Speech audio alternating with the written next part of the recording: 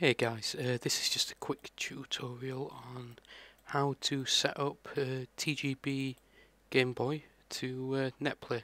The first thing you're going to need is TGB and you're going to need this.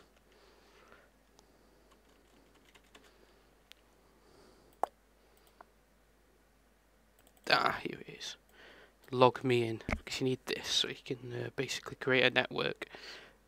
And so people can join it and you, then you do it through this which I'll show you how to do.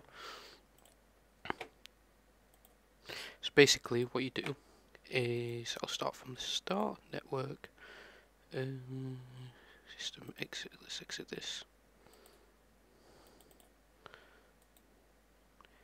Delete network there we go.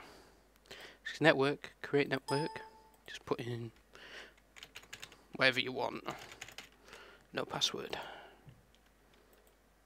Okay, password.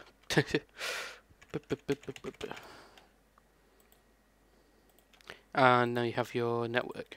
So what you do is you load your TGB up. It's a file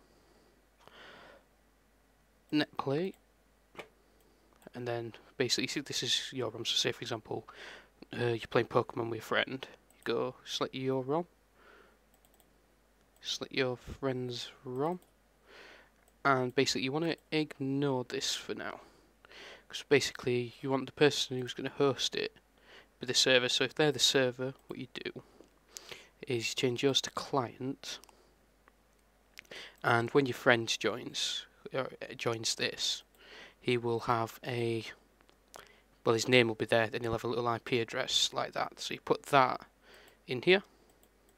So you have a look I've, that was my friends. And then what you do is you click connect and then it that move and then you basically connect together and it basically synchronizes it so you can basically do virtual link cable so to say.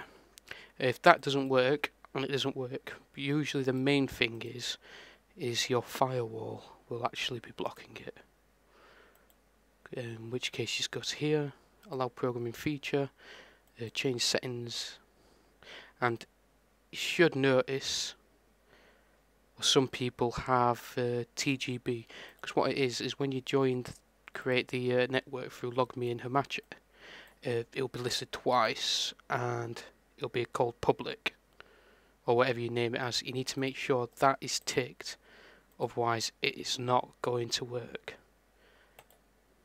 So once that's ticked, uh, basically allow it access the internet, not that access, that access through the internet through this network, and then you'll be able to link cable perfectly fine. And basically that's how you set it up.